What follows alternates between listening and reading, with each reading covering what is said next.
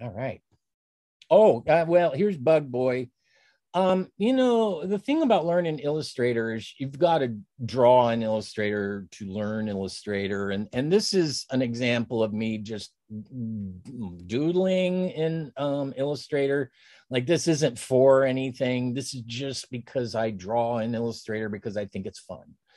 Now, if you notice at the view, I'm looking in what's known as outline view right now. If you go up under the view menu and you're looking at this with me, see it's under preview and I can click on that. So I can go between outline and preview under the view menu. When I look at an Adobe Illustrator file, you can see this one has some gradients in it.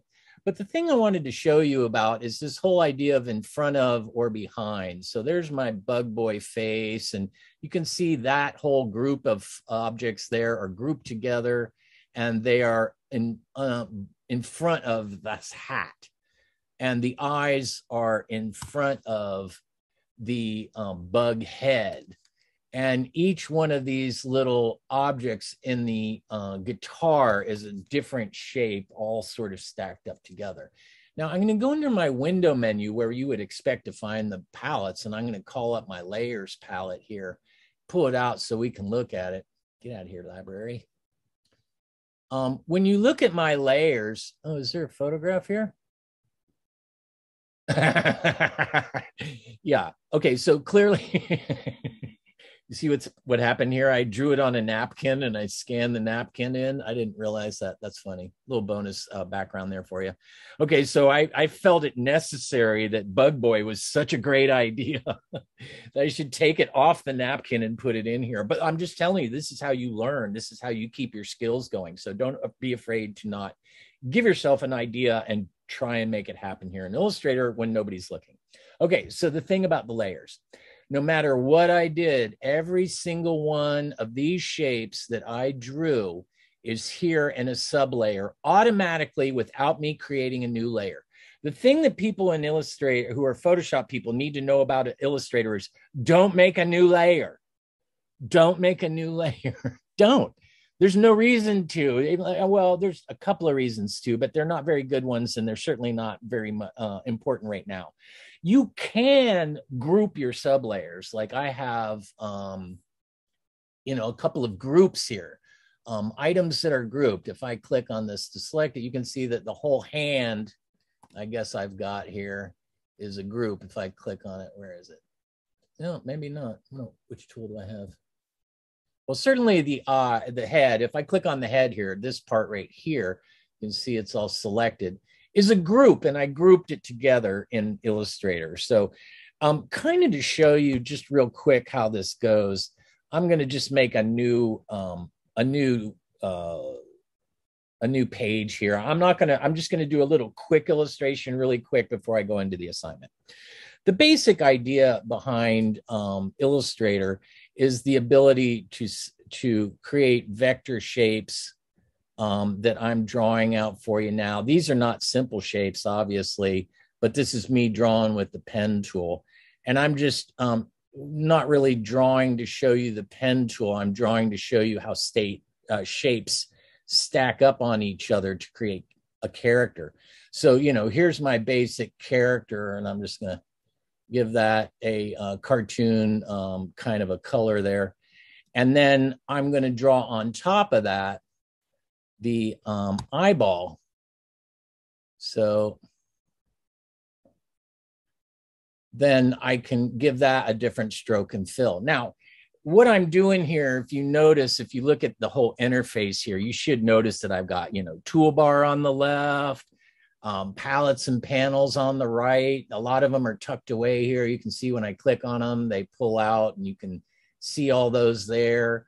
Um, similarly, above the top with every different tool that I click on, the options dialog box don't change as much as they do with the other ones. Some of the tools, when you click on them, will change the options dialog box. But as you can see, as I'm clicking through here, it's not the same as in Photoshop. Um, a lot of the tools have their own key command driven options that we're going to talk about. So anyway, I'm going back to my pen tool and um, drawn this um, Elvis type character here. Um, I'm putting another shape on top of another shape to create the hair. So this is the basic method by which Illustrator stacks shapes up in order to create the illusion of an image. I'm using my arrow key here to move that one anchor point around. Now, when I open my layer, you can see that I now have three sub layers. And every time I draw or select a new object, it's going to um, it's going to create a new layer. So I'm going to sort of zoom in here and make an eyeball for the guy and watch the layers when I start to draw the eyeball that you'll see that first layer appear. And then as I draw the rest of the shape, oops, um, I can um, I can see that my layers there. Now, the interesting thing, these layers are layers, they are sub layers. There's really only layer one. You can see everything's on layer one, but it's all about what's in front of or behind. If I take the hair layer here and drag it underneath um, it, underneath the skin tone, it goes behind. So this is what I mean about I don't draw the edge of the face to match the hair. I just put the hair on top of the head. This is so important. This is the basic thing about how this all works is in front of and behind with shapes. And that's why we start out with this uh, simple shapes project, because we're really just talking about organizing objects on the page. So I'm going to, um, you might also notice that when I click on a shape, the color of that shape activates in the um, in the stroke and fill.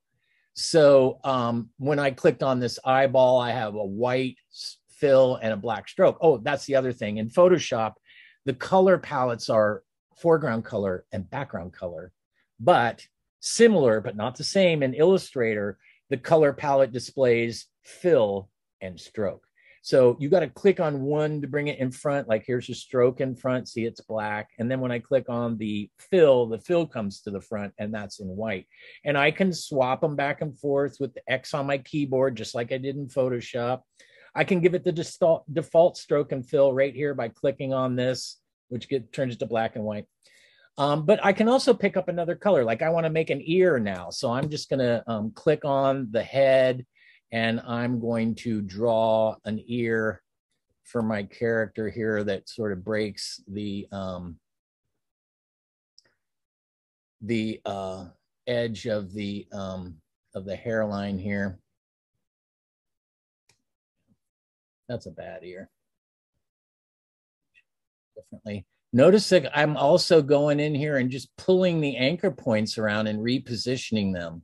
And this is one of the really great things about Illustrator. I like to always say that Adobe Illustrator is the person who can't draw's best friend because you can sort of what I'm doing right here is throwing the shape down onto the page, but then going back in and moving the anchor points and the segments around to refine that to make it more like what I wanted. In Photoshop, you draw with a line, you draw, you make a gestural movement, but then you got like if you didn't get it, the only thing you can really do is erase it or undo. Well, here in Illustrator, you can just click on the line, just make the dang line better. If you got it close but not exact, you can fix it. So that's what I'm doing here. I'm clicking on the uh, eye now. I'm going to make some teeth for my um, Elvi. This is roughly some form of pseudo Elvis. And then I'm going to use the send back command, which just sent those teeth back behind the mouth. You can see the opening of the mouth is what defines the edge, not the teeth. And I'm going to harp on this for the next six weeks. Don't draw the same edge twice. Let one object in front of create the edge of another object that's underneath it. This is very important concept. So yeah, there's my guy. I'm going to click on the hair and it picks up the hair color. And now I can sit here and um, create an eyebrow and, and, and continue on like that. Okay, so that's that's the thing. That's why I say don't worry about layers. Don't get caught up in the layer trap.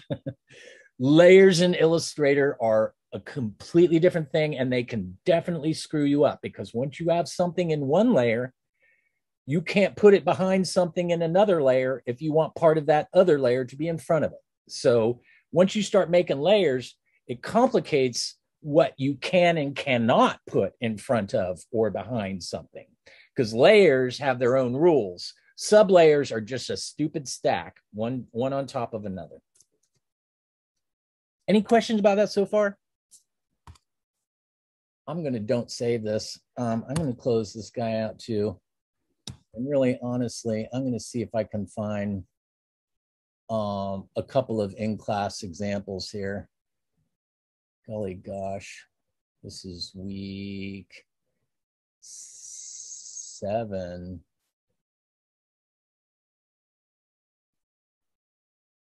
What do I have here? I guess I just have ah, I have one of my um one of my examples here. Um, which shows um this assignment in all its resplendent ridiculousness. Um, I like to critique my own work when I look at it. Like, I like my cow very much. My pig, I'm like, oh, quit drawing the pig that way. That's what I think when I see that. My ducks, I'm like, yeah. Okay, so one thing people don't uh, do a lot of in this is they make one cow, one pig, one chick, and then they just call it a day. Um, I want to point out you can copy and paste and make a herd or a, a, clutch of chicks. You can make a herd of pigs. You can make more than one cow. You can copy and paste and flip a, pow, a cow the other way to make more than one cow. You can shrink it down so the cow looks farther away. So I think once people make their um, animals, there seems people tend in this assignment to stop there. Um, you can see here that I've done a couple of different things. One is I have a background, which is a blue rectangle. I'm going to actually do under uh, view, I'm going to do outline. And when I view outline, you can see all the vectors, like see what what's involved in creating this. And it is all a series of anchor points and segments and curve. You know, anchor uh, segments can be curved or straight. It's the anchor point that controls them. So we're gonna we're gonna look at all that. And so I'm gonna hit Y on my keyboard. Now you can see preview. Also look at my layers palette. I have one layer, but not really. It's one layer, but there's however many sub layers I've got here. And of those sub layers, there are some that are grouped. So for instance, if I go to this sub layer right here and select it, I can see that this whole group is just one of my chicks that I turned into a reflection. Remember how I did the reflections in Photoshop? Same thing, copy, paste in front, reflect down, you know, use the free transform tool to make it go down. And then uh, color it the color of a shadow. That's all this is. Is I copied a, a chick, pasted it in back, and you know flipped it upside down and made a shadow out of it. So you can see I grouped that, so it was easier to handle it. Because now if I group it, I can, oops, I get the right, yeah, here we go. So now if I group it and I click on it, I drag it, I can move it around, reposition it, you know, um, alter its color, whatever I want to do. All right, so I'm going to go ahead and make a new wide, excuse me, eight and a half by 11, 11 by eight and a half, sorry, um, uh, CMYK document. And I'm going to hit create. But bank. I am going to hide my uh, layer palette for now. Um, I'm just going to make it a little thing. See how you can make it big or small? We'll go back and look at it a little bit uh, later, but there's a couple things I want to describe to you before we get started here. Number one is navigation is the same. Okay, in Photoshop, everything we learned, command plus, command minus, command zero, fit in window, space bar gives you the move tool command option uh, uh, space bar is zoom in command shift space bar zoom in. Um, all those things are the same. The way you navigate it in photoshop is going to work here exactly the same way. So there's something you already know. You already know what's under the file menu. We talked about that open close. Uh, we already know what's under the edit menu copy paste undo um, object type, select, and effect, or well, object type and select are kind of unique to Illustrator. But then we get to effect, exact same effects are available in Photoshop and Illustrator. View, many of the same things, guides, grids, um, snap to, uh, zoom in, zoom out, all that stuff's under view. And of course, windows. You're looking for a palette panel or a window, it's under the window pull down menu. I did say the help menus are all pretty much the same. Mac uh, is going to show you if there's something inside the program. Um, if I type in pen tool here, it'll show me um, what did I type in pen? Yeah, it'll show me anything where the word pen is right in the program, plus send you out onto the um, internet. Windows are just going to send you out into an internet page. Um, I wish these programs had their own internal help, but anyway, such is life. Well, here's my document. Let me see. Okay. So when you're moving around in Illustrator, there's basically one big rule. There's two move tools and they're different. And I'm going to just go to my rectangle tool and I'm just going to make a rectangle here. I'm going to give it a blue inside so you know it's it's there. Now, this is super important because I'm going to do things this way from now on out. Like ever, I'm going to try and say this every time I do it, but I'm going to be doing this every time from now on out. When you're an illustrator, and in some degree, this is true in Photoshop as well. Um, when you're in Illustrator, though, there's two different kinds of move tools. There is the top one, or I call it the black arrow tool. And the black arrow tool or selection tool is a selection tool. When you click on a vector shape like this rectangle, in Illustrator, with the move tool selected, when you press and drag, you move it. When you select the object, whether it is a rectangle like this one or a circle like this one, when you click on it with the selection tool, it gets a bounding box on it. And the bounding box is a minimum rectangle you can put around any single shape, whether it be a rectangle or a circle. So when you click on one of these shapes um, with the regular selection tool, it activates the bounding box. And the bounding box is very similar to your friend and mine, the free transform tool. So when I move over the corner of this bounding box, you'll notice that my cursor will turn into the scale tool automatically. Um, this is a very big deal. This is whole. And if I move away from it, it turns into the rotate tool. So I can rotate and scale simply by selecting the object. And if I want to disproportionately scale it, I have to hold down the shift key. Nope, not true. I have to not hold down the shift key, which is the opposite of Photoshop, to disproportionately scale it. Scale it. If I hold down the shift key, it's going to proportionately scale the object. It's going to lock the X and Y coordinates in. Okay, so I can press and drag with the move tool and any objects that are a group, I'm going to make a couple of uh, objects together here and I'm going to select that and group it. And when I do that, and I have the move tool selected, when I click on it, notice that it selects all the objects of the group. So if you have the regular move tool and you click on a group, it's going to select all the objects of the group. Or if you click on a single object, it's going to select the entire object.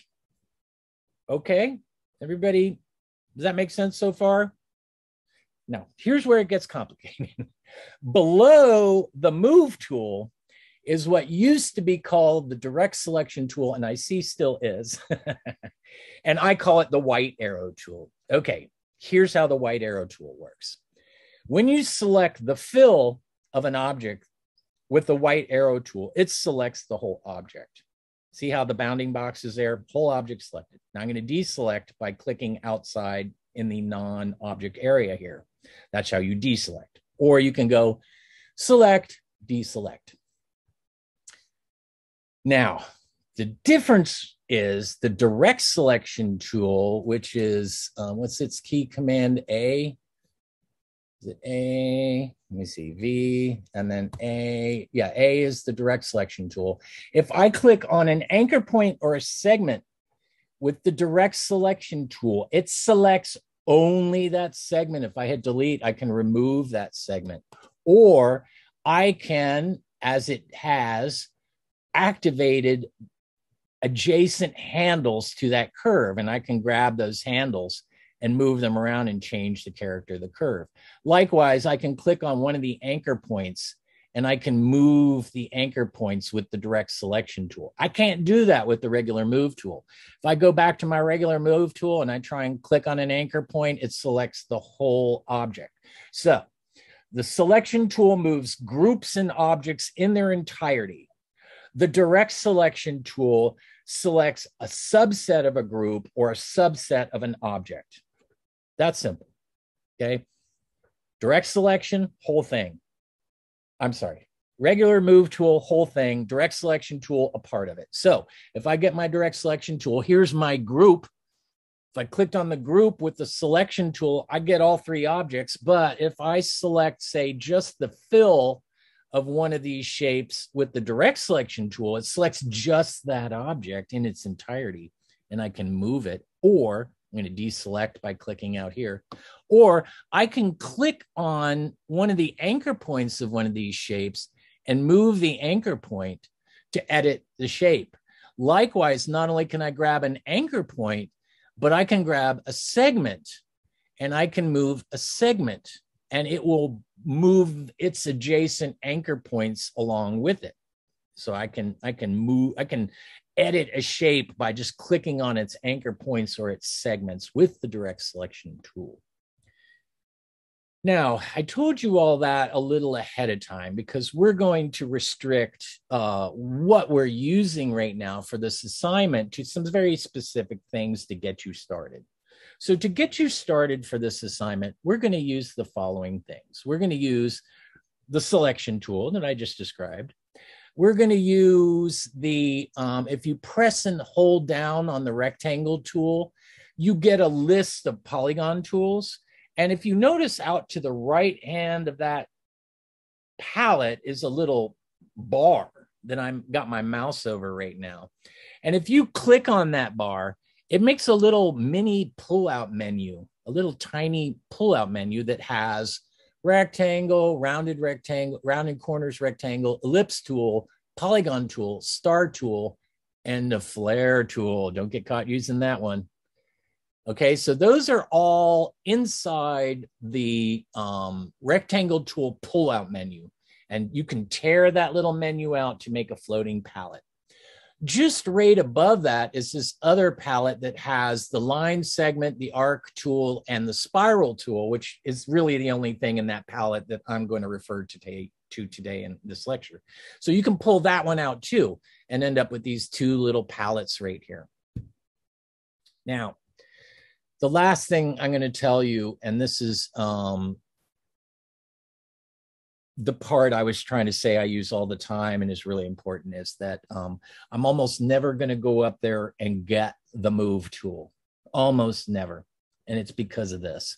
When I click on something like the polygon tool here, here's the polygon tool. If I press and drag, it makes polygon.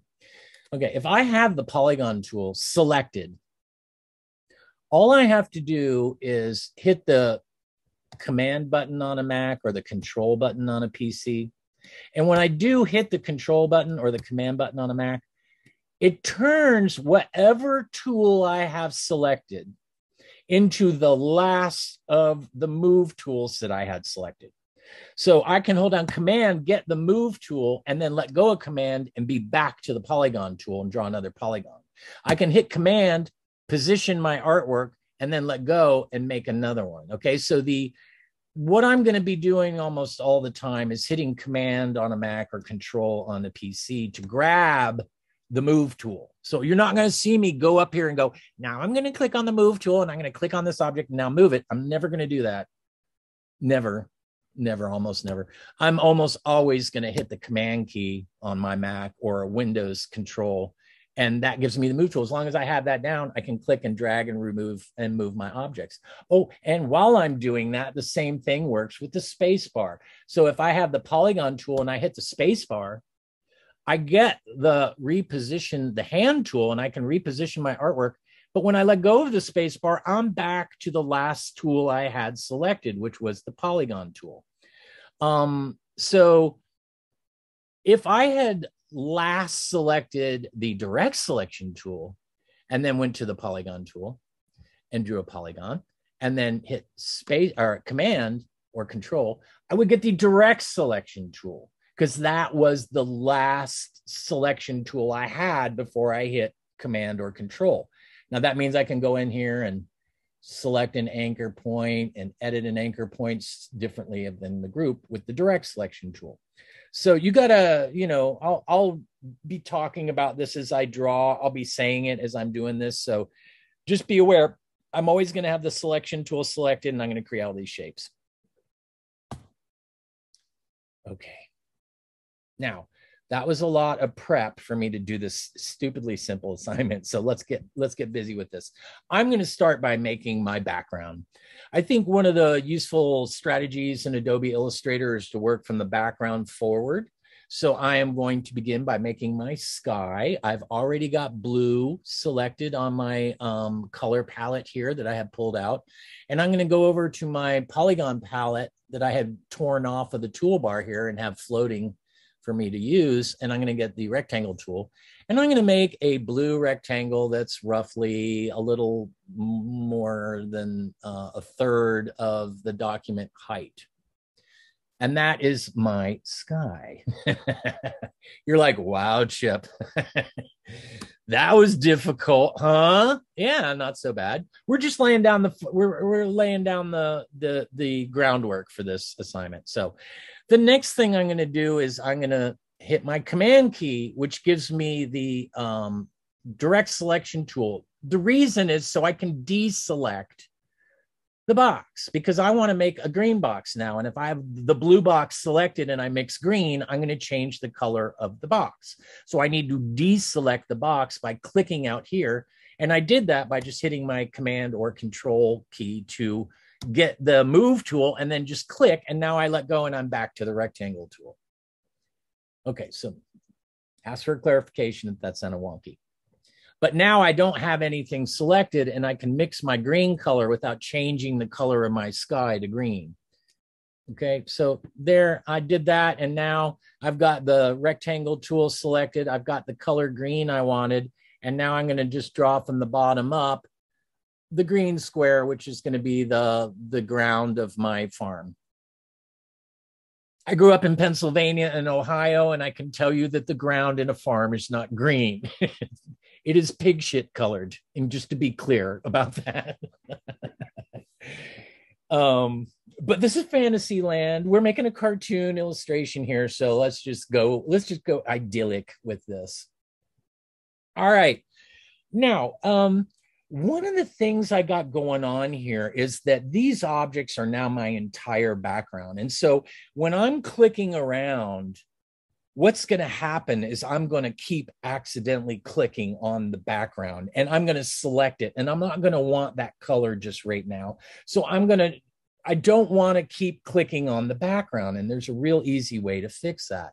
You know, I can do this in my layers palette. Like I can open the layers palette and open my sub layers and I can lock by clicking on these layers. I can um, lock, where is the lock button? I can lock the layer.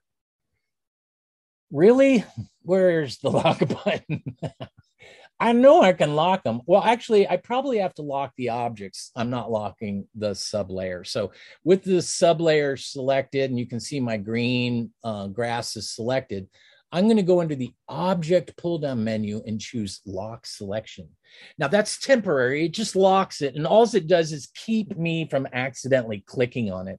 Now there's two objects in this background. So I'm actually going to um, hit my control command button here and select both objects by just pressing outside and dragging over the objects. When you want to select an object in Illustrator, all you have to do is drag your move tool over a corner of it and it'll select the whole object.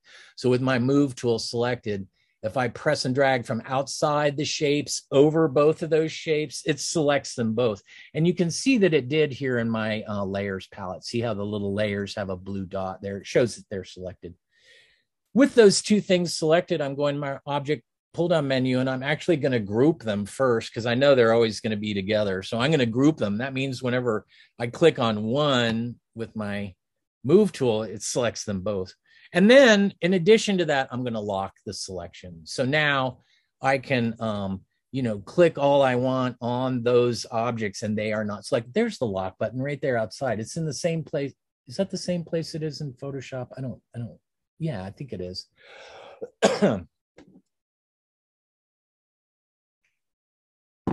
I really do talk a million miles an hour. I'm so sorry. I do know I do it. um, there's a lot to say. Okay, my barn. I'm gonna make a barn. And you know, I'm thinking about the rule of thirds when I'm laying this out, you know, and, and it's a really important thing that we talked about in the very beginning of the class is this rule of thirds and how it works for you. So I am going to build my barn on the second third over on the right hand side here. I'm going to go ahead and hide my layers palette because I'm not going to look at that for a minute and try and move it out the way. And now I'm going to, I'm deselected here. So I'm going to remix a nice red color here, barn red. Um, probably not too cherry red. I did say I lived some, some years of my life in Ohio and Pennsylvania. And yeah, those barns are usually like a darker red and they got like red man on the side like that caterpillar uh, so there's my um there's my mix for my barn and you know think about like you know if i don't sit here and show you right now how you gonna make that barn? Well you got to use simple shapes. What does a barn roof look like? What kind of shape is a barn roof? I think some of you may have different ideas about that. Anyway i'll tell you mine. Mine is that I'm going to make the barn uh, in in two major parts. First, the top and the bottom. So the first thing I'm going to do is find my mouse, which I can't find right now. Where are you, buddy? Oh, here we go. Oh, I'm going to hit my command key. Oh, there's my move tool. One of the problems with some of these tools is they have like a little crosshairs. I can't even see it. I have to hit the command or control button so I can see the move tool so I know where my button, my cursor is. So it's right here. And now I'm just going to press and drag and make my barn bottom. So this is the bottom of my barn. And it is just simply a red rectangle. And on top of that, I'm going to build windows and a door and a latch. And, you know, there's all these details of uh, uh, a, uh, a, a straw, a straw attic vent. I'm going to do all these things. But the next thing I'm going to do is um, go over to the polygon tool. And the polygon tool is where I got to stop for a minute and talk about how all these all of these tools work that I'm using, like the rectangle tool. So far, we've just used the rectangle tool. They work like this. Number one is, and I'm going to start with the rectangle tool. You can just press and drag, and um, it will make a rectangle, right? And so press and drag. That's number one. Here's number two. Hold down the shift key and press and drag, and you get a perfect a perfect square. And the same thing is true with the oval uh, oval ellipse tool. If you hold down the shift key with the ellipse tool, it makes a perfect circle, not an ellipse. So I can make a rectangle, but if I hold down the shift key, I get a perfect square. That's number one, shift. Okay. Number two is um, option alt clicking. When you option alt click with any of the tools, um, you get the toolbar option dialog box, and where you clicked is where it's going to put it. So here it's saying you want a rectangle, what size? Well, I can actually type in five by five inches. And when I click OK, it'll make a five by five inch square. So that's one way uh, I can do is just by option alt clicking, and it'll give me a user defined um, uh, um, size. Or as I just said, I can press and drag to get the size, or I can hold down the shift key to make a perfect um, square. All right, now let's go to something more complex. When we go to the rounded corner rectangle tool, all those things are still true. Hold down the shift key, perfect square. Um, alt option click, dialog box, press and drag, size. So if I have this rounded rectangle tool, whoops, and I press and drag. I got, it doesn't look like it right now. Let me let me just uh, fix that. I get this um, uh, rectangle with rounded corners. Okay, so those are rounded corners. You're like, well, Chip, how are you rounding the corners? Well, I'm about to tell you. So I can shift, make a square. I can press and drag, make a rectangle. I can alt option click and get user definition. Well, let's see the user definition. If I alt option click here on the desktop, I get width and height, like I just had five by five.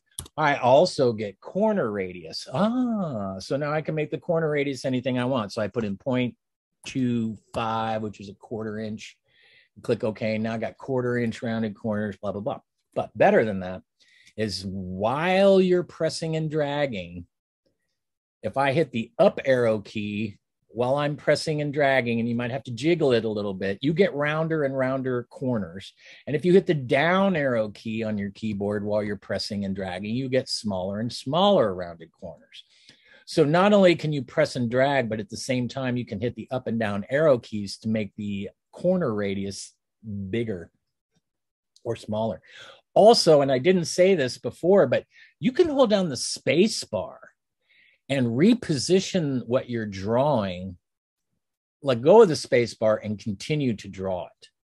So that's two more um, modifier keys that we can use while creating an object to alter how we create it. So we can hit the space bar to reposition it on the artboard where we want it, and then let go of the space bar and continue to size it. We can hold on the shift key turn it into a perfect square, and then the space bar and move that perfect square around uh, to a new location. Let go of the space bar, keeping the shift key, it's a perfect square. And then, of course, if I let go of that shift key, you can see it snaps to whatever rectangle I'm closer to. So there's a lot of ways to, to modify the keys. Now, when it comes to the um, polygon tool, when you press and drag, you by default get a hexagon or a six sided shape. But if you hit the, while you're pressing and dragging with the polygon tool, if you hit the down arrow key, you get all the way down to um, this. I want some good person in my class to tell me what this is. Don't think I'll let you off easy. What, what do I have here? What is this? What is this? What is this? Don't come on, you're in college, you had geometry. What is it? Does it start with an R? It's a what? Does it start with an R? No. No, it doesn't start with an R. What what shape do I have here, ladies and gentlemen? Oops, sorry. What shape is that? Say it, Rebecca. You're muted. You're muted. A pyramid is an ancient pyramid. Oh, come on, pyramid. That's too sophisticated for this. This is uh, only a, a, mere shadow of a pyramid. you guys don't know our freaking triangle? I, you sounded like you wanted more. Huh? I knew triangle. I thought you meant something else. you guys are freaking me out, man. If you don't know what a triangle is, oh my god.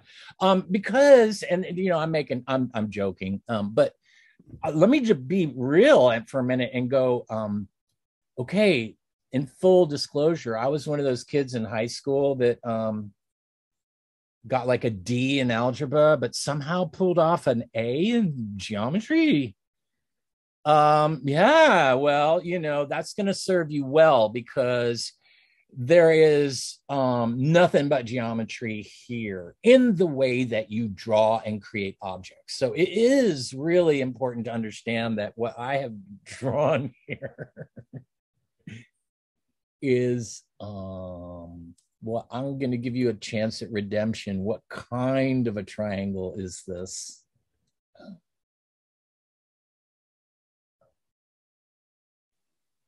Isn't it equilateral? That's the winner. You move on to the semifinals. Um it is equilateral. That means it has all three different sides uh, all three sides are the same. Now let's not forget that's different than um, this. If I make this square and I'm going to do something here a little tricky and get rid of my, get my pen tool out, um, that is a, what is that, a 45 90 triangle. Wait, there's another name for that. I forget, but it's not isosceles or equilateral.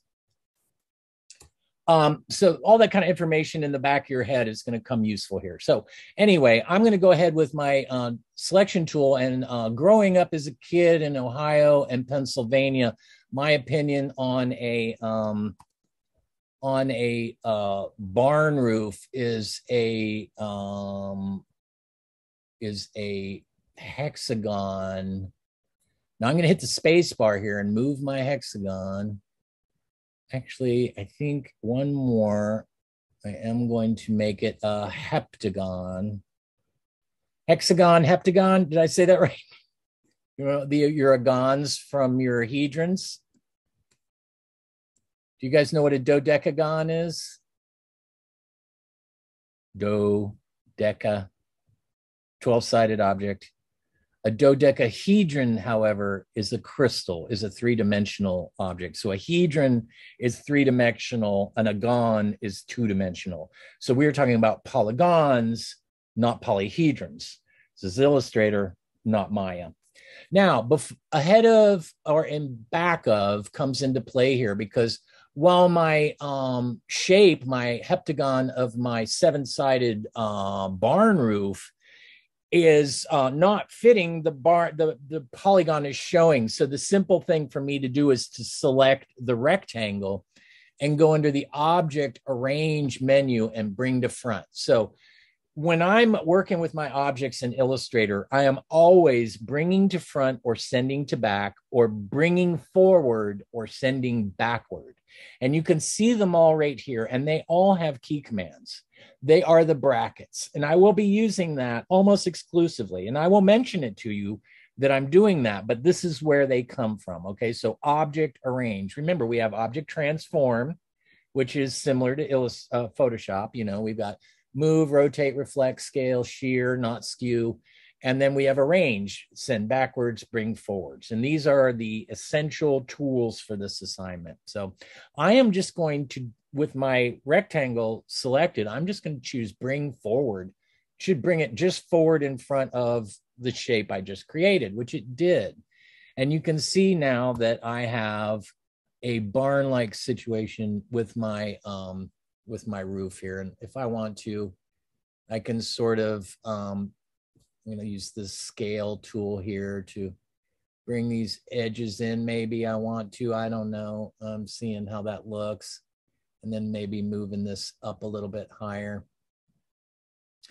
Um, the idea here is to use the pure shapes. And so there's both of my shapes. I'm holding down the command key to get my move tool and the shift key so I can select both these objects together because I just want to move them down a little bit like that and reposition it a little bit.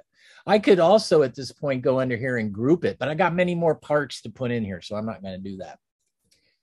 Now I'm going to start at the bottom here with the simple stuff first. I've already got my color that I selected for the um, for the um, the barn, and now I'm going to make barn doors. Which I'm sorry that makes me laugh, but you know when I was a little kid, um, we used to say uh, you know, if you were if you had forgotten to zip up, they'd say your barn door's open. So whenever I say my barn door, I'm always sort of chuckling to myself in a very Beavis and Butthead sort of a way. But I'm going to go ahead and make my rectangle right here and uh, make sure my barn door isn't open. So I'm just going to make a square here, and you can see that's roughly, um, you know, the shape of a big barn door. And, and what I'm going to do is make littler rounded corner shapes up here for the hinges, I'm just going to make one. And I'm going to make one because I'm going to introduce you to my favorite and a big part of this assignment, which is the copy drag. So when you have a shape selected and you have the move tool, and I have the move tool because I'm holding down the command key, I could go over here and click on it, but I've got the move tool. If in addition to the move tool, you hold down command option or, or control alt, and then you press and drag on the inside of a shape and i'm holding my shift key down to hold it so it goes straight down i just was able to copy at the same time i'm moving.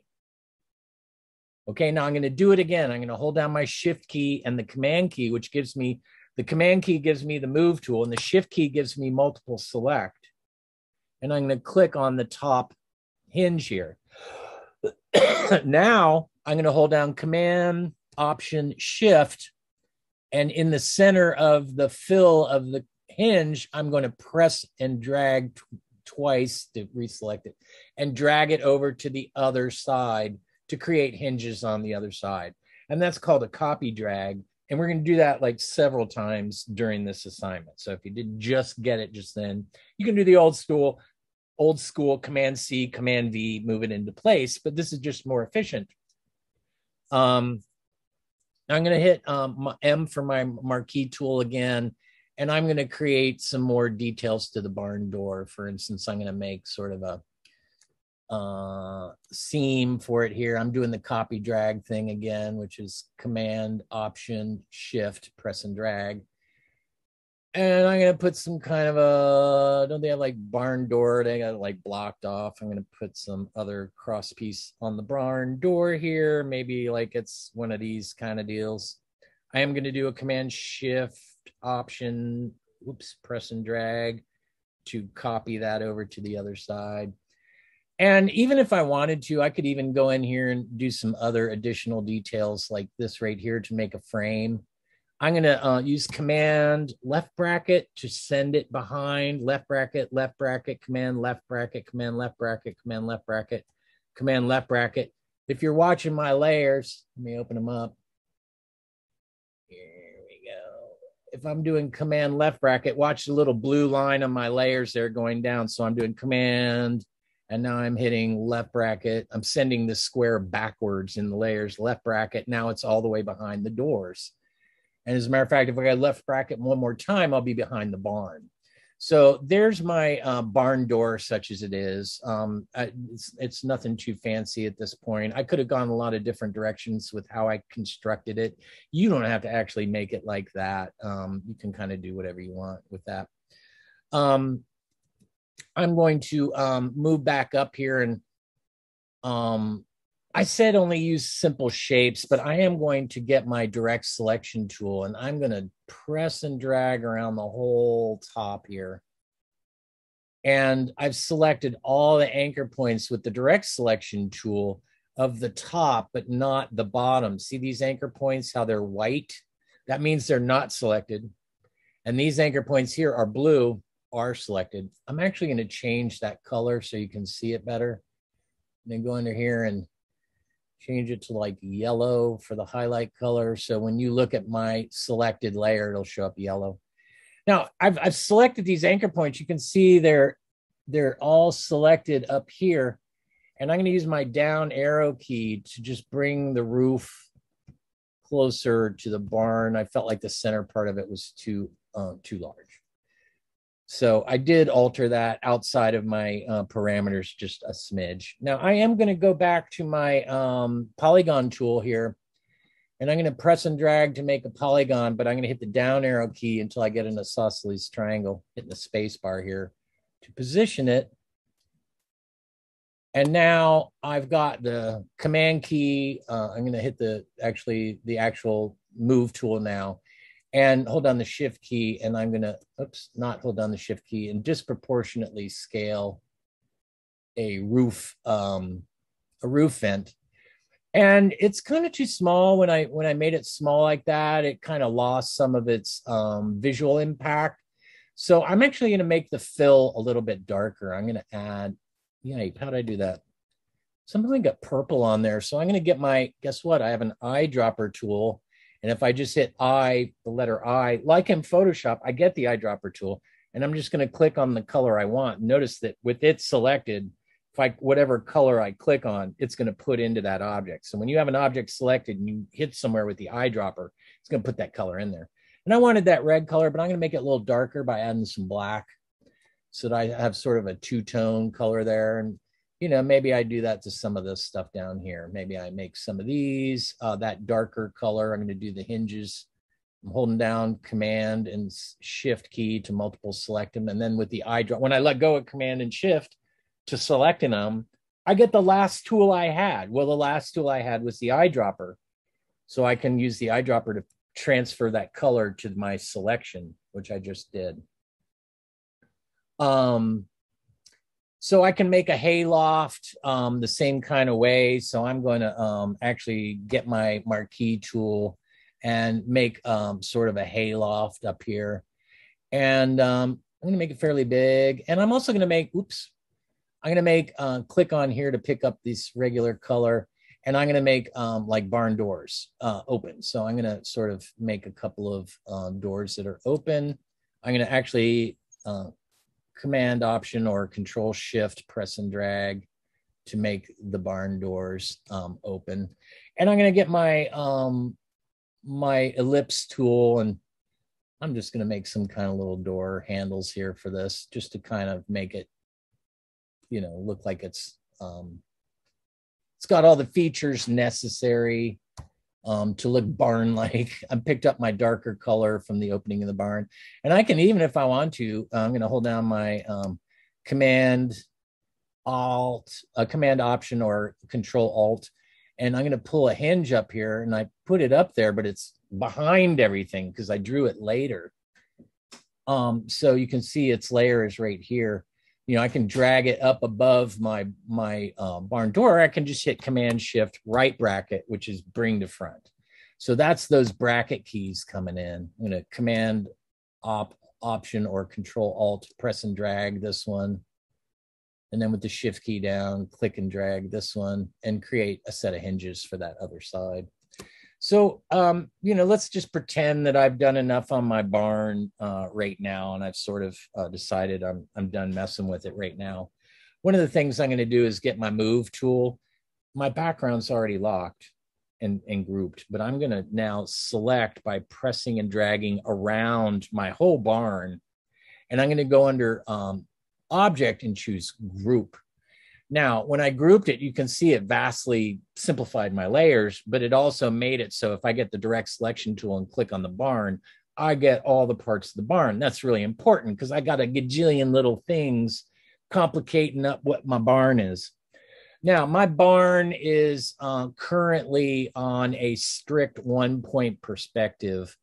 Um, I, I, could uh, go and, um, you know, sort of try and create um, with my simple tools, you know, a side showing like I can um, sort of put a side on it if I want to. And then um, I'm going to use the uh, the assignment was to use only um, the simple transformations. So I'm going to get the um, shear tool, which is somewhere up there. Where is it? Shear transform. Okay, I guess I go have to go under object to transform to shear and I can um uh, I thought there was a tool. I'm gonna actually let go of that and see if I can no. forget what happened to the shear. There used to be a shear tool, and you could just make a rectangle into a parallelogram by going like that. Honestly, to be honest with you, nowadays I would get the direct selection tool and just grab one side and do it that way. Um, that's fairly cheating on this assignment. I don't want everybody to start pulling their their segments apart because then you're not really using simple shapes anymore. But I can sort of take that a step further and um, I'm clicking on. I have to deselect and then reselect the segment, and I can sort of manipulate if I wanted to um, some of these shapes down here. But I'm not going to do that. That's really going too far and getting too complicated. I want to keep it simple for you just transformations and just simple shapes. It's an interesting assignment because, of course, you have to like adapt to that. So I've got my barn. I've gone. Uh, I usually want to work from the background forward, and I need some clouds up there. It did ask for clouds. This is one of the few places that the spiral tool comes in handy. I'm going to hit the default stroke and fill and press and drag with my spiral tool. So there's a spiral tool and it draws a, a, spiral as you can see. And if I hit, guess what? The up arrows, it makes more spirals and the down arrows make fewer spirals. I don't know exactly how that's helpful, but you can see it adds a segment every time I hit the up arrow key to the spiral. When I let go, I don't have a shape, I have a line. And you can tell this because if I do the default stroke and fill, you can see that it's a line because the fill, my white, is going to go from one open anchor point to another anchor point and close the shape. So that's why I get this sort of snail shape, you know, because it's it's not a shape, it's a line with a fill. And um, in Illustrator, if you make just a line with a fill, the front of the line and the back of the line are going to connect automatically, whether you close the shape or not. Now, if I go like this and bring the shape around and close the shape, then that's a polygon. It's a polygon, even if it's shaped like a like a turd here. So anyway, um, what that causes me to have to do here in this situation is either um, copy and paste a bunch of them together and try and hide that, or just use something else. Like I can use circles.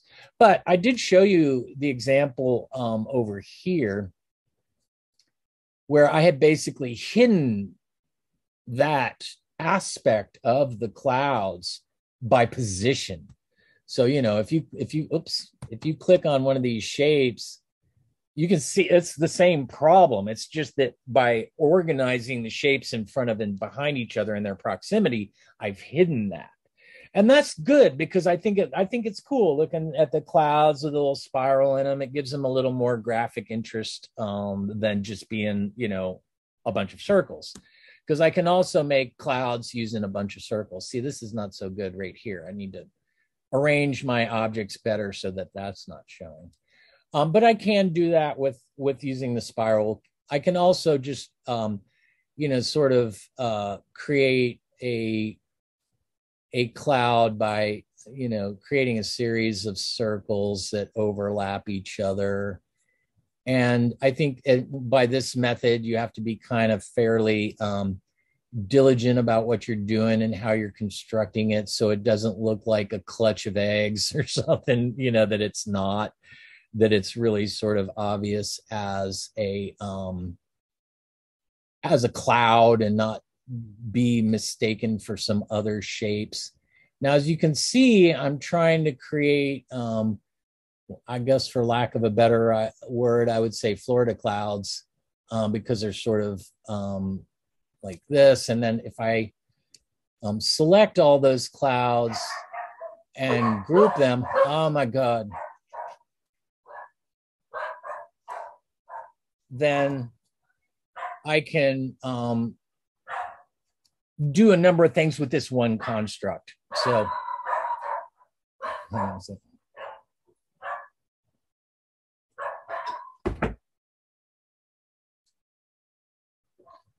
So um, I'm going to use that same copy drag thing. I'm going to hold down command and option and uh, press and drag, and I can make a duplicate of what I had. And I can go under object and transform and, you know, oh, it's not under there. It's an under edit where flip horizontal is. I don't know why flip horizontal is like such a tricky um well, one way you can flip horizontal without flipping horizontal is um, to grab the right end of the bounding box and just drag it to the other side, and that flips an object in vectors. I can also make it look smaller and farther away by sort of creating some variants of it. But I'm going to um, you know, sort of put the bigger ones up higher and the lower ones down low or the smaller ones down lower. I'm using my right command or control left and right bracket to send behind or bring to front. Yeah. As a group, can you go back in there and take away the stroke and it just in one key command? Yeah, all I have to do is click on my um my color palette which is um, right here. This is actually a good way to do this. Let me move this around right here. So yeah, I mean, I can just click and bring the um, the stroke forward and then click none. Um, the problem is the shapes are all white, so they are going to then just disappear. Well, let me see. Let's see how it looks. Um, here you go. Bang. Uh, yeah, and actually, you know, I think I do. It definitely looks a little. Um, it looks. It doesn't look as awkward that way. I think the circles um, create, you know, undesirable in front of behind situations. Um, you know, without the parameters I have put forward here, I would use a gradient in there and make it so they're darker towards the bottom, kind of like rain clouds do, you know, and I would mess around with that. But I was sort of trying to keep it um, directly simple. But here I just created some copy and pastes and stuff like that. I can also still add more to it. Like if I'm like, ah, oh, I need just one more, I can go in here and um, I'm holding down command option and can click on one and sort of drag it and move it and it's it stays in the group. Um, so provided i use my direct selection tool the white arrow t- tool i can even click in and change individual or copy individuals within the group. Like i just did i just made that from a copy from this one a copy drag from this one. And you'll notice that it stays inside the group because it was a copy of something that was in the group. So it stays in the group. You don't have to regroup it again or anything like that. But I am just sort of um, manipulating these a little bit. And I like to see them either go off the edge or be in the edge, but everything shouldn't fit perfectly. It should be sort of a, a jumble. Um, all right. I am uh, very remiss of having gone this far without saving. So I'm going to do a save as, and I'm going to name this Neville on a bar 701, DE 701, digital exercise 701. Going in my production folder and I hit save. Oh, it already exists. So let me put um, roll 21. There we go. Um, oh, I did that really quick. I'm sorry. I, whenever, um, and you know what else I just did without even thinking about it is I didn't save it as a PDF. So let me do that again. Um, I'm going to do file, save as. I'm not being mindful. And I'm going to change the file type to PDF. Okay, so you don't have to go anywhere but save as. Save as is all it is. Save as PDF. Here's my PDF. I have an autonomous name, Fall 21. And when I hit save, it does ask me for PDF issues.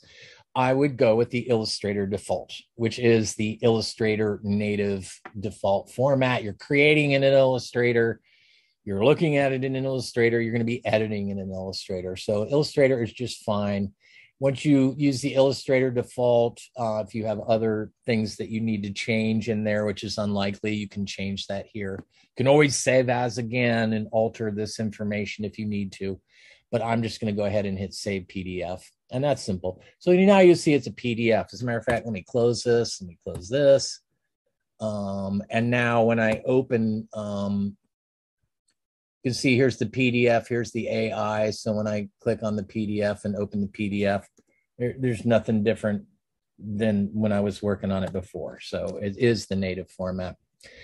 Now, um, with the tree, um, I uh, I uh, I I I uh, have always made the tree with circles and rectangles. I'm going to try and deviate from my own deviance right now. Uh, I am going to go ahead and start with the um, with the trunk of the tree, and I am going to sort of start it up this way, off to the side of the um, barn. I'm going to give it a nice uh, brown tree trunk color and I'm going to also make another uh, limb that sort of comes off of that and a limb that comes off of that. And I'm going to select this one and I'm wanting to get this shear tool. I'm going to have to look at that again. Um, it, um, let me see. There we go. Okay, so it is shearing. It's just not. Ugh. Um, I'm actually just going to go ahead and move this in its more traditional way, just by rotating and uh, pressing. I'm going to bring to front, send to back. Um, all of these, and I am going to kind of get rid of the um, I'm going to get rid of the stroke on these so we can't see the edges so well. So I am going to go click on the stroke and the color here, hit none. Um, it's the tree trunk right now. I am going to actually go ahead and group it at this point. And now I'm going to get, um, I'm going to make this a polygonal tree. I always use a circle. I'm going to, I'm, I'm going to use something else this time just because I'm going to push myself. Um, so I am going to um, uh, mix up my nice green color here. I'm going to get myself a tree green that's going to be different than the uh, grass green and go with a darker color here, right about like that. Oops, had my wrong thing selected. I need to deselect them and undo that. There we go. I deselected them. Now I can pick that color again. There we go. And with the polygon tool selected, I'm going to see what I can tolerate for polygons here is the tree. Hmm, hmm. Um, here we go. I guess I'll use that. And I may be um, somewhat crazy for having decided that that's what I'm going to do, but I'm going to challenge myself here and do that. I'm also going to make a series of, um, actually, I think what I want to do is sort of, I'm going to copy and paste in front and I'm using the scale tool to um, shrink this down. Let me see, where am I? Um, I'm going to create a highlight here. Um, and I'm not sure if I'm going to like it, but I'm going to hold down my shift key here and lighten that color up.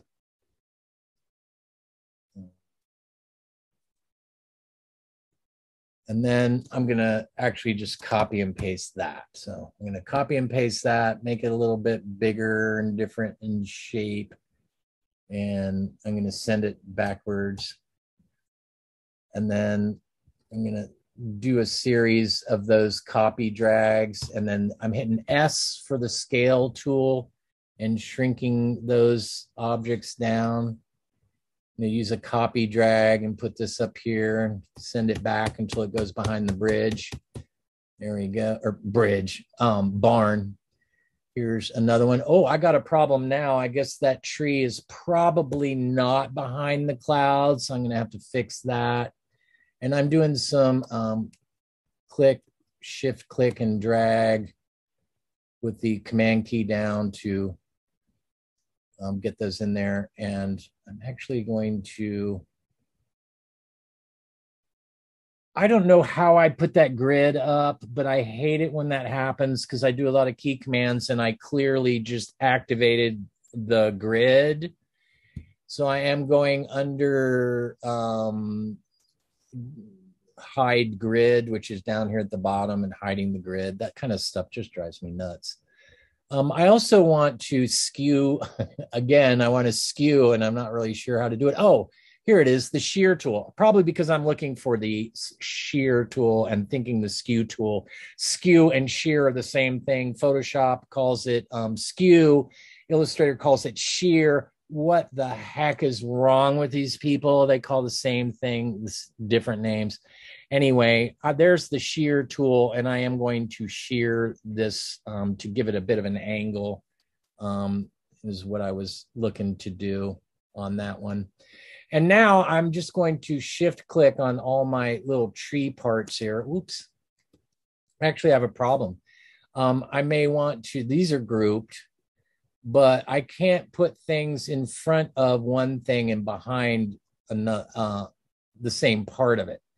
So if I want the tree parts to be in front of the barn, that has to be one group. And what's behind the barn, this piece back here, needs to be different group. So I am going to group these. I hit Command G, and I am going to select the bottom half and group that together. And then this guy back here, I'm going to group by themselves, just so it's easier to click on. I'm clicking here and um, Okay. Now, one of the things I've done from a design perspective that's um, I'm going to have to deal with is I've got no stroke at all on the um, on the uh, tree and the clouds, and I've got a stroke on the barn. So I need to keep track of what I'm doing in terms of the texture of having a stroke or no stroke. Um, so here we go so far. I've got some of my almost like a clouds. I got the barn. I've got the um, I've got the uh, tree, and now I'm going to go ahead and make the picket fence, which is another sort of uh, key intensive thing that I want you to know. I'm going to start by making one picket. So, whoops, I'm going to get the default stroke and fill, and I'm going to make one picket. There's a picket. So there's my one picket. And following the assignment to a T, I'm going to make a separate part that is a triangle. And I am going to position that appropriately and shrink it to fit. And there's my picket. I am going to select both parts of the picket and group them. Now, this is not the tricky trick part of this thing.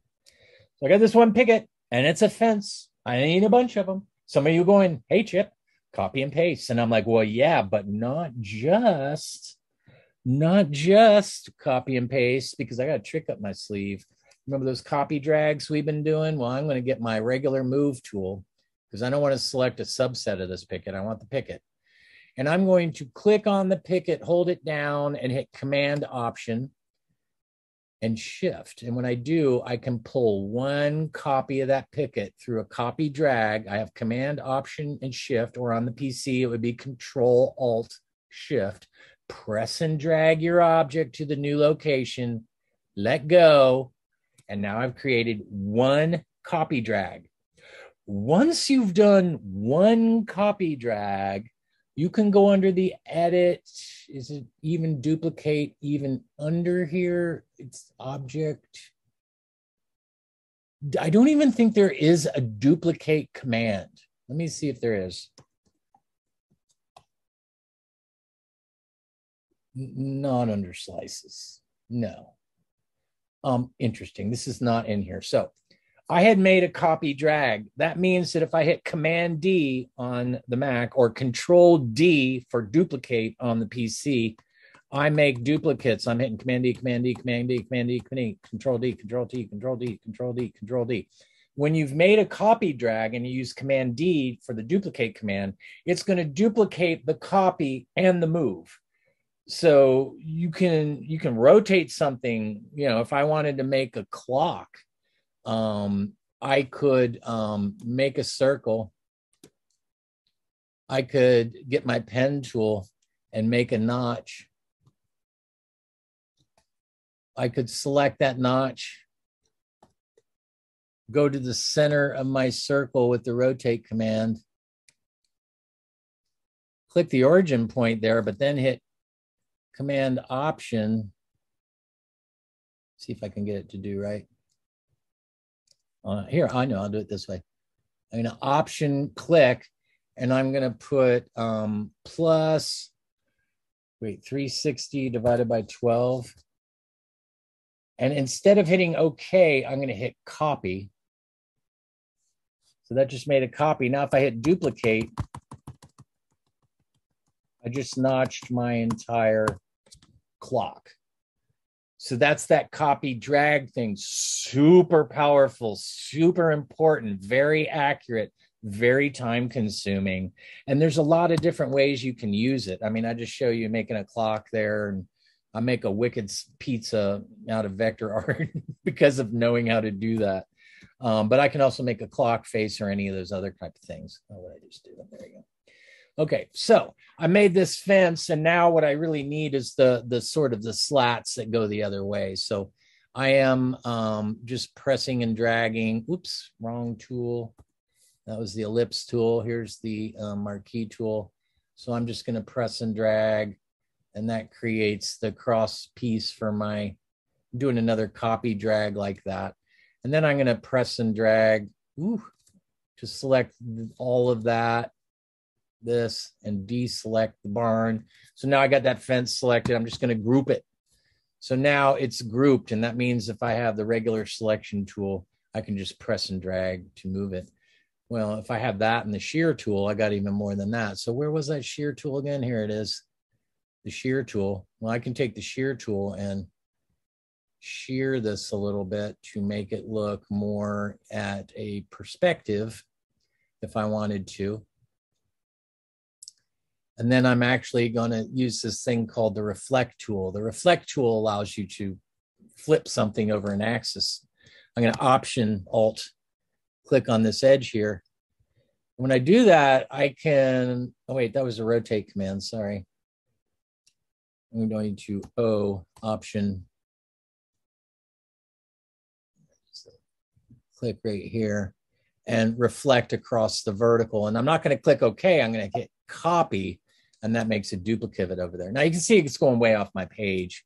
Um, that's fine. I, I don't really want to worry about that, but I can, you know, click on it and go back to my shear tool, put the origin point of the shear right here and sort of change how that's going. Um,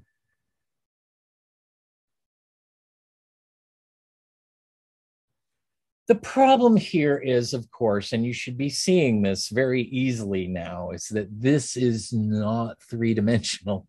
These objects are flat as a pancake.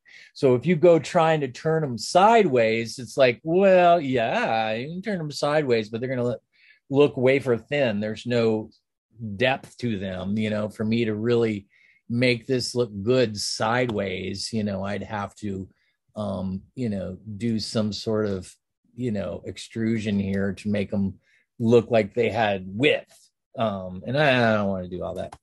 Um but anyway there's there's that. So i'm on to i'm going to go ahead and hit file save and i'm on to barnyard critters at this point.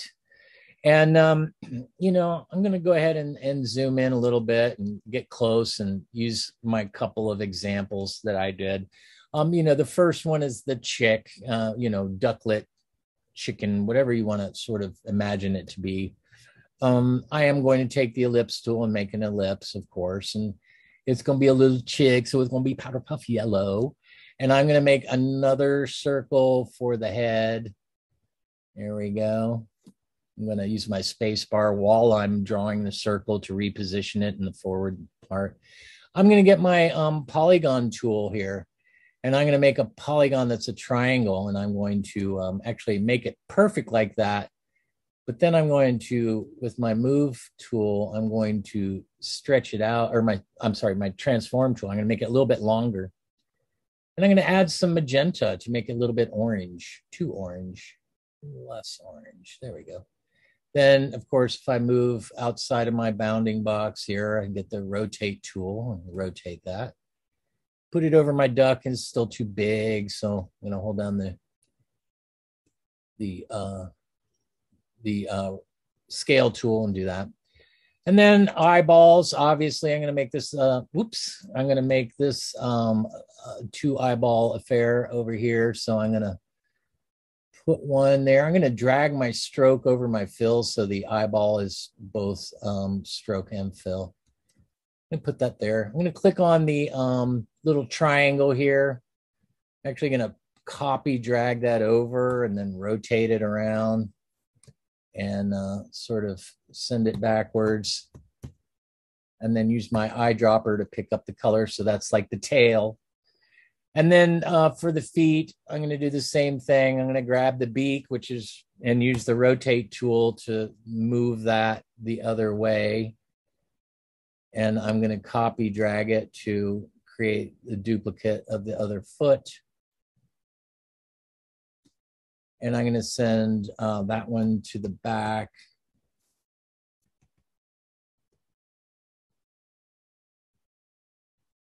Using my arrow keys to nudge things around. I'm going to let this foot break that edge. And then I'm going to create um, sort of an indication of a wing here as well. So there's my um, duckling. I'm going to select my, my duckling or my chick or whatever, and I'm going to go under object and choose group. Now when I get my move tool, I can just click on that and move it around. Couple thing about scale and rotate. I'm going to um, hit S for the scale tool and click now, when I did, whenever you hold down the option key and click with a object creation tool or a transformation tool, you get the options dialog box for that tool. And when I have the uh, scale tool and I option clicked on my chick, it brings up this option dialog box for the scale tool. Points of interest. Scale, stroke, and effects. If you do not have scale, stroke, and effects, and you have, say, a one point scale, uh, stroke and you make something very small, the stroke will make remain at original size. So you can shrink something farther than it would want to be because of the stroke. If I hit uniform here and type in um, 50% on this, the effect is the stroke of the of the chick is same size it was at twice the size. So the stroke is the same here as it was smaller. Now, if I hold down the option key and click on that and say uniform 50%, but I say scale stroke and effects, then when it makes it smaller, it makes the stroke smaller too. And any effects like a gradient or anything like that in there would, would be made smaller as well. so it is, um, you know, important to keep your eye on that, whether stroke scale and effects is on, because it does by default stay on whatever the last thing you did was. So, you know, if I say scale stroke and effects, make it 50% smaller again, I have not gotten to the point where the stroke is so big it fills in and you can no longer see the fill because the stroke is so thick. Keep that in mind. Also on rotate, if I hit option, click on rotate, you can see I can rotate, you know, 45 uh, degrees. And again, I can hit OK or I can hit copy. And if I hit copy and then command D, I'm going to be duplicating that uh, chick. So there I just have a bunch of chicks all in a circle. Now let me undo that. Um, what's more likely to happen is that I'm going to zoom out and I'm going to hold down command option or control spacebar. And I'm just going to press and drag and I'm going to make several copies of this chick. And if any of you are half with me on this, you, you're like, oh, that doesn't look good because they're all the same. And you would be quite correct. So there's some things I can do. Number one, I'm going to get my direct selection tool and select just the head. And then number one is I can rotate it. So I can have, you know, some looking around. I'm going to click on this one here. Oops. And I'm going to use the um, reflect tool, the option click with the reflect tool reflected across the vertical. Oops, went way off the head there. So I need to sort of move it back over here. Um, the other thing I need to do is sort of rotate and alter the position of some of the things that I have done to make sure that each one um, is going to look a little bit different. So, you know, there's all kinds of variables that I can make from rotating to scaling various body parts I use my eyedropper to make sure the stroke is the same.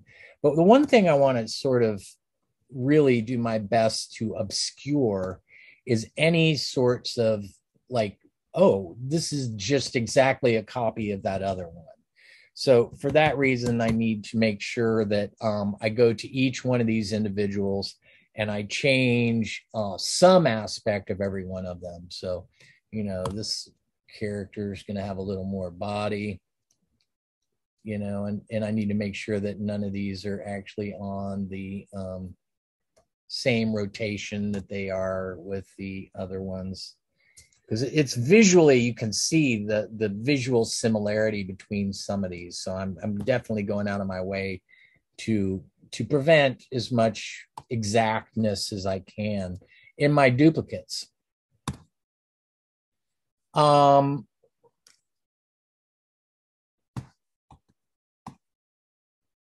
the other thing, I'm going to do some overall sizes. So this one's going to be a little bit smaller. I'm going to vary their sizes some. Um, the downside of that is that it is sort of um, altering their line weights, and I need to kind of watch for that.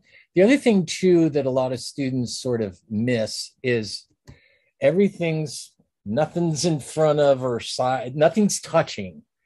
Like don't do that. Interact your your duplicates. Like i'm going to have these two duplicates here and i'm going to have two just like right next to each other overlapping each other. It looks more natural that way. You know um, i'm a person with a backyard full of ducks and i can tell you they are very um, well communal but sa- ducks are total savages. Has anybody observed the behavior of ducks? They are complete savages they are trying to screw or kill each other the entire existence of their lives they're just really in my backyard anyway it is quite the um the scene with the ducks. They are they are just you know after each other at every move. Okay, so um there's my chicks. Uh chicks. Um, does anybody used to watch Talk Soup? Can't say chicks. Anyway, without chicks, man. there used to be a segment on Talk Soup called Chicks, man. So just so you know, whenever I say chicks, I'm thinking chicks, man. All right. Chat stew. All right. I missed that show. You know, that way you don't have to watch those shows. You just get to see the worst of them. All right. So now, you know, I need to do a pig and a cow. I need mm, you know, I've never done a llama. Let me do the llama. All right. So I'm going to make a llama. Tina. I'm going to name this llama Tina. Does anybody know why? God, Tina, just eat your dinner. Uh, Napoleon Dynamite. You know, I think it should concern me how much I I like and sort of in some ways relate to that show. I should be very. I grew up like that. I grew up that far out, yeah, middle somewhere like that. Yeah, eat a, da- a gold darn quesadilla.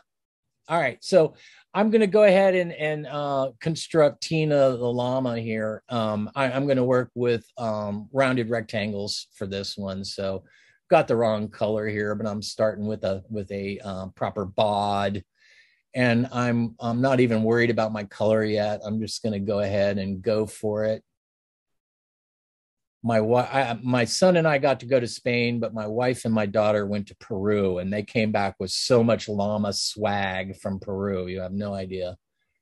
I think the only that like llamas peru yeah. So i am uh, here constructing a llama central. I'm so far using uh, mostly just rounded rectangles. I, i'm probably getting myself in big trouble here. I'm not really um, worried too much about what I'm doing um, other than making the llama um, out of you know impossibly few shapes that aren't even the right shapes to use for this kind of a thing. Um, but I'm up for the challenge and I am going to head on in here and I should be able to pull this corner. I'm not sure why it's giving me a hard time here um, I am going to get the, it's messing with me. So I'm going to get the scale tool and prove to it who's boss. I want a skinnier neck. I'm getting a skinnier neck. Eh. Um, and when I make a scale like that, it does change the stroke weight. So I am using my eyedropper to pick the color back up. Actually, before I do all that, I'm going to select my yellow llama. Can it be a yellow llama? Maybe. I'm gonna get my uh, fill color and I'm going for a light tan. Ooh, wow. With a llama color here. Also, um, by now I've lost my um, stroke altogether. So I am um, actually gonna pull my stroke palette out here. I like to put it in there with the with color because really I use stroke and color. I mean, the other stuff I, I don't really use that much. But one thing I want to do is I don't want a 0.3 stroke. I want like, you know, a one, a one point stroke or half point is probably more likely. Um, just so I have some border, see how my llama's coming together. I can always go back and take the stroke out. Uh, but for right now, I'm, I'm just going with it. So I've got my color selected, and because I just drew with this color, it's now the default um, color.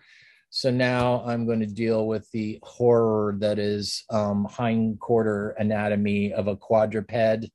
Um, people sure do get this wrong.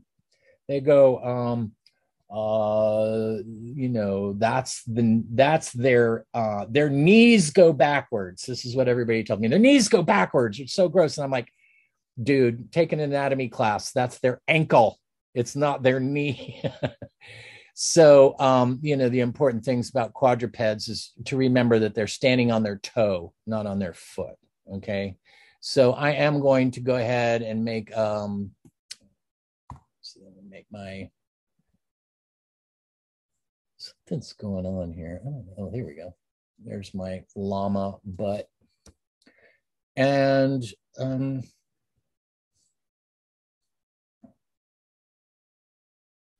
I'm not sure what I'm doing here. Um, which may or may not give you pause. I am going to try and work this out. It's always it's always like doing it for the first time when you when you first uh, start working all this out. You're like, wait a minute, how does this go again? So, um, oops, wrong one. Wrong one. Where is it? I'm on the wrong tool. Here we go. And the rotate tool. And then I'm using the arrow keys. And then down here, I'm going to put my, whoops. I'm going to put my shoe.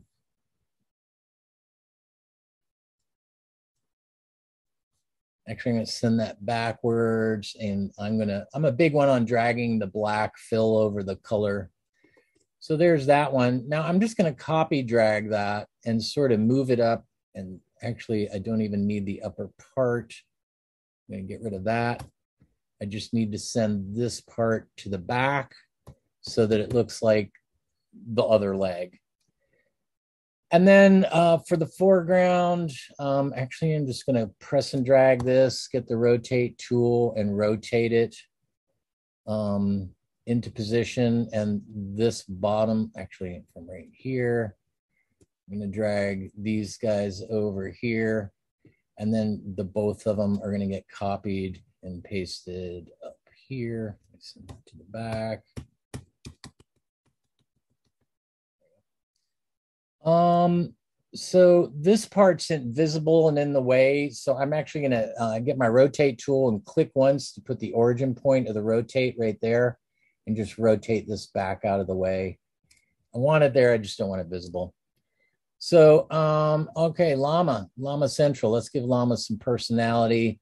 Um, digging my eyeballs that are just black and kind of cartoonish. So I am going to um, make another one of those and send that one to the back. Doing command or control left bracket to send to the back. I am going to make a llama schnoz. My llama schnoz. I'm going to select these and do an, a llama inner ear. I'm going to take the stroke off that just by hitting none, and then I'm going to make the inside pinkier.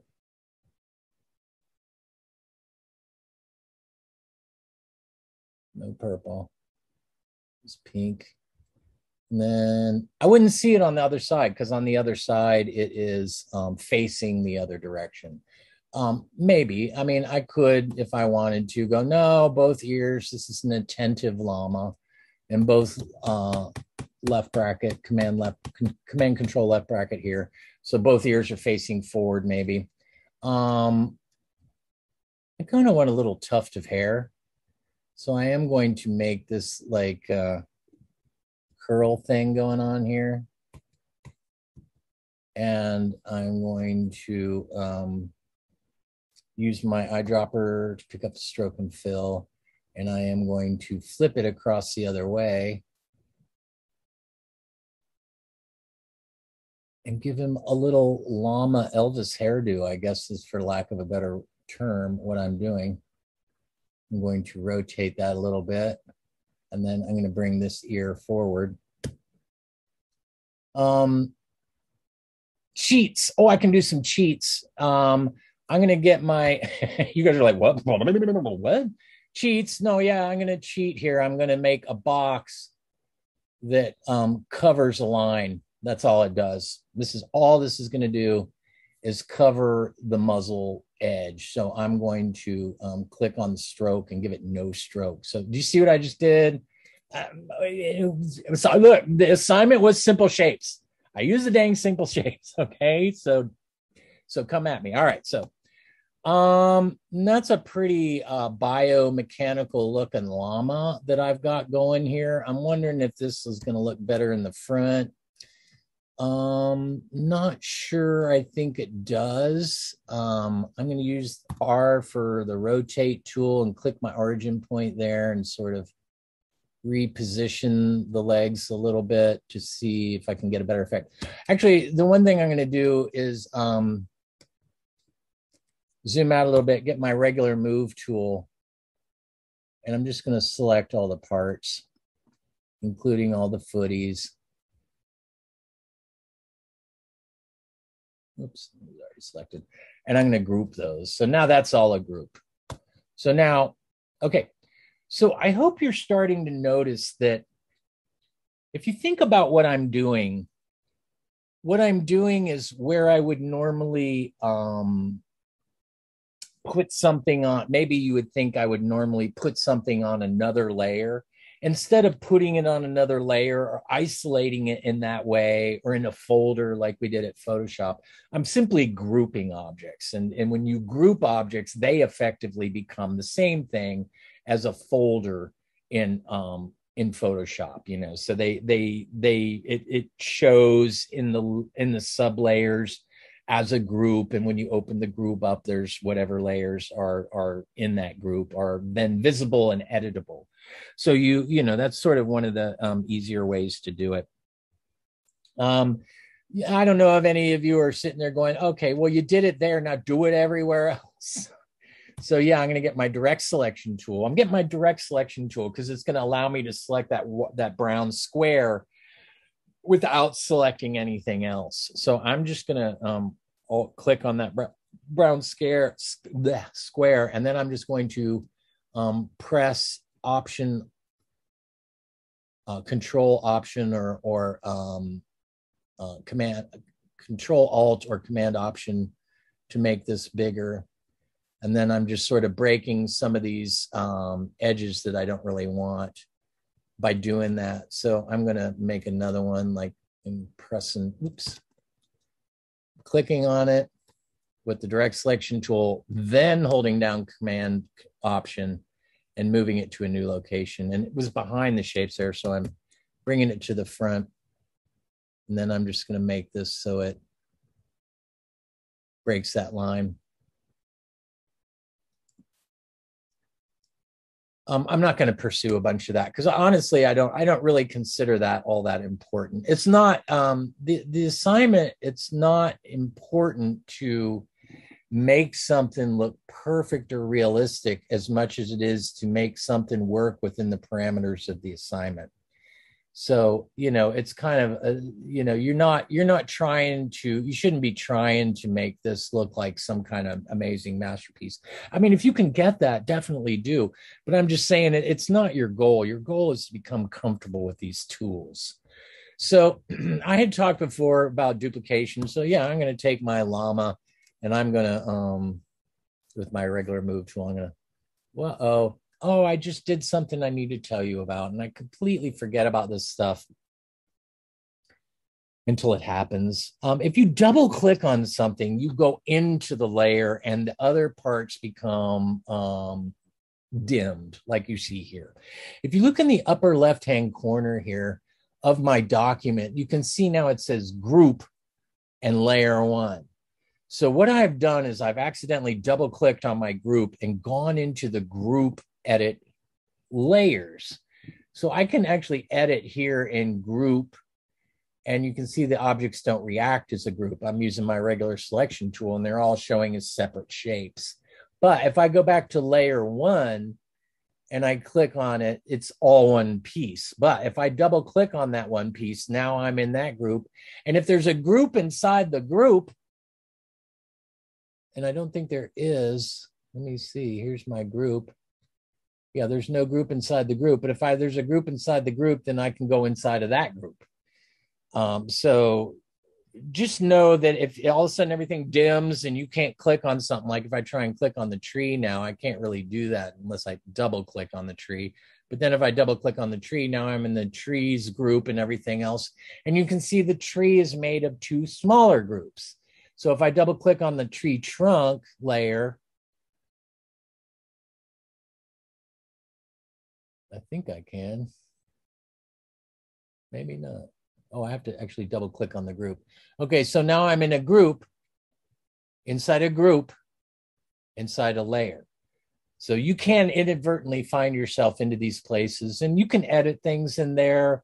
Um, it's not really my method that much. I don't I don't particularly do it this way because I have other methods that I use like key commands and tool usage that means that I don't really need to go into these sub layers and things. But if I just click up here, I can get back to my group and then get back to my layer. I'm actually glad that showed up because I always forget to address that in um, a lot of my lectures.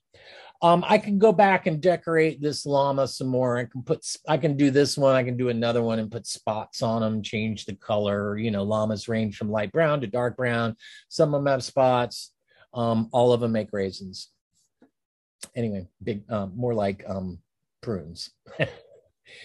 all right, so um, I need one more. Um, I need one more um, animal for my um, farm here. I've got ducks. I'm gonna. Um, I you know traditionally would do a, a pig because the pig I, I, get to use the spiral tool with uh with the spiral tool. Talk about spiral tool as a line. It's not a shape. Blah blah blah. Um, but in this case, I'm I'm so tired of doing um, pigs that I'm going to make um i'm trying to be inspired and it's not it's my inspiration is not arriving quickly.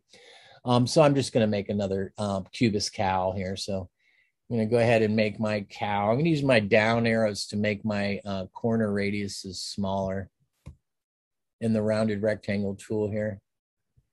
I'm starting out with my cow um face. So there's my cow face. I'm going to make my cow nose and I'm going to hit the black color here.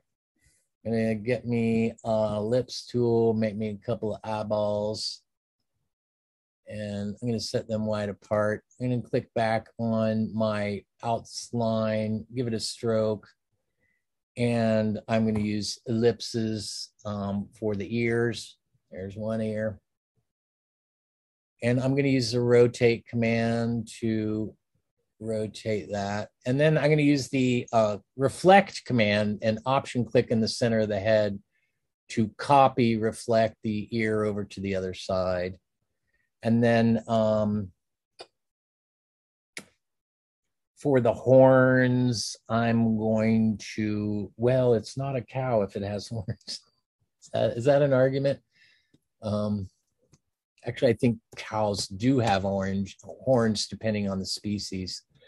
Um, I'm just going to make this nondescript quadruped. Um, I'm not going to worry about horns.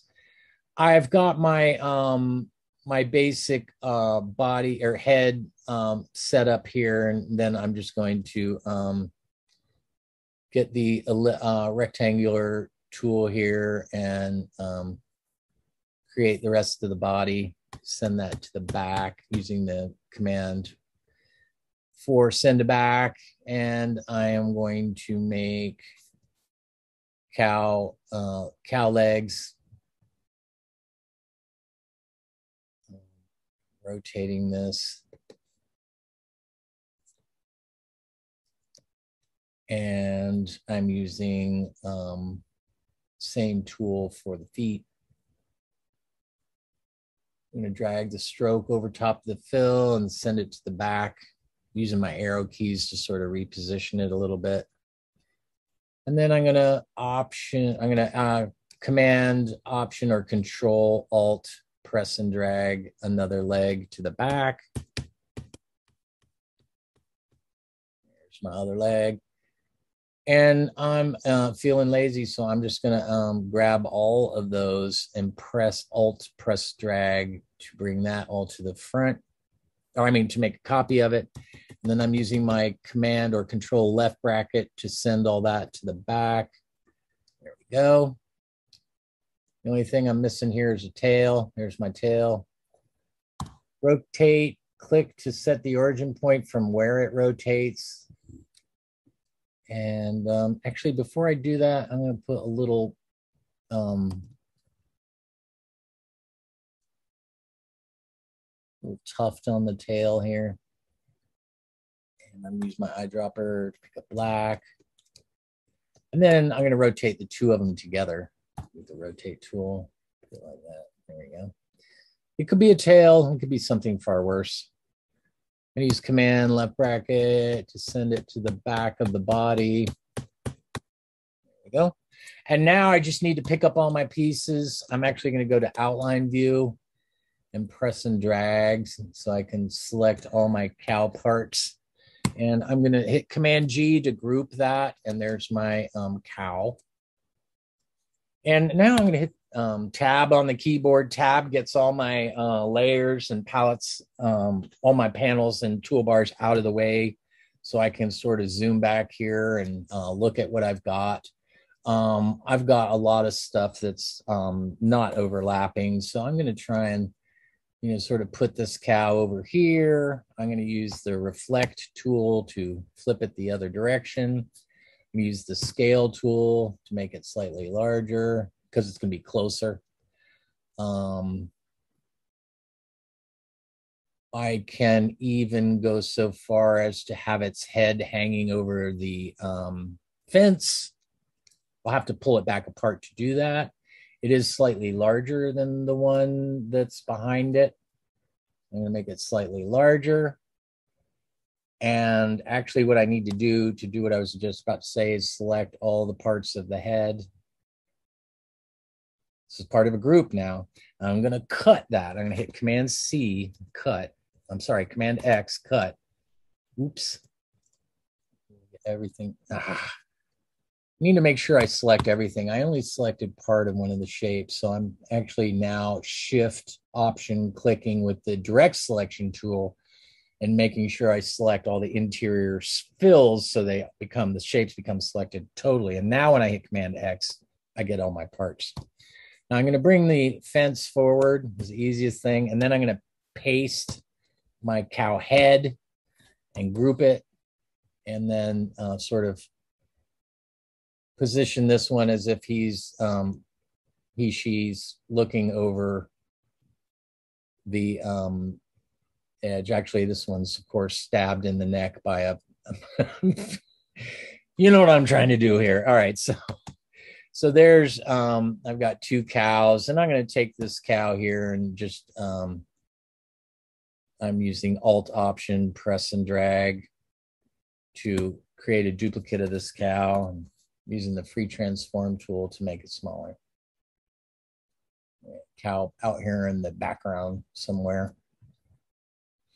First, I'm lacking all the meadow muffins that would be out there with them. Um, all right. I'm going to do file save. And um, this is the um, method and spirit of, of this assignment. Um, I need to, of course, move all my chicks around because they're getting lost behind the cow here. There's this, as always, when I'm in these sort of you know demonstrations where i got to do like a whole assignment in one sitting um and uh i would say you know as i always say that i would sort of continue to tinker with these um you know i can make duplicates all over the place like i'm gonna um uh click an option drag alt option drag these chicks the other way. I'm going to take the transform tool and flip them and shrink them and have them somewhat behind where they are right here. So, you know, have them sort of coming out from behind the barn. I'm using the use the send to back and then bring forward command so that they're sort of over there. Now, when you're when you're doing stuff like this, you might notice that I got stuff hanging over the edges. Okay, so you see the the fence and the clouds kind of sticking over the edges. When you make um, when you have a PDF and you're previewing your PDF, you will only see the contents within the page. You will not see whatever's out on the artboard. So it is going to automatically crop it. And we do have masks that we can use here that we're going to talk about a little bit later that you can employ in here and use a mask to um, make it look clean so the edges are not have stuff over them. You're only going to see that in Illustrator. Uh, let me go and verify that by doing file save.